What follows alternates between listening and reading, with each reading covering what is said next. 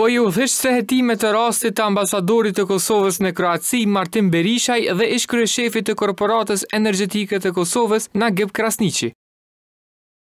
Por Shemsi Haziri pozitën e shefit të Njësisë së Veçantë të Hetimeve brenda Policisë së Kosovës nuk do ta ushtrojë më. Kjo pasi drejtori i përgjithshëm i Policisë, Gazmend Hoxha e shkarkoi nga detyra atë të premten.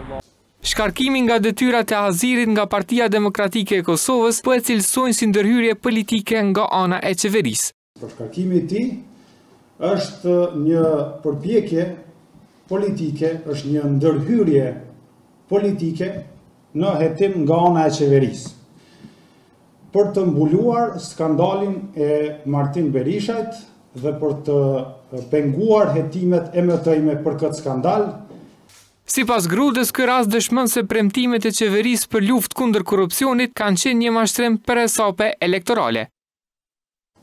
Këto shkarkime tregojnë qartazi që qeveria do t'i marrë në mbrojtje njerëzit e korruptuar, të dërgojë sinjal të qartë që ajo nuk është e interesuar për t'u zbardhur ky rast dhe për t'u zbardhur e vërteta e këtij rasti.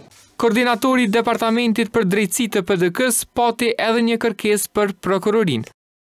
Dua t'i bëj thirrje Prokurorisë së Shtetit që pas kësaj situate ta marrë hetimin në duart e saj dhe t'i shkojë deri në fund këtij procesi të hetimit, Ditë më parë Shemsi Haziri deklaroi se vendimi i është komunikuar verbalisht, ndërsa arsyet pse është shkarkuar nuk i di ende. Megjithatë ka treguar se i janë ofruar tri pozita të reja brenda policisë.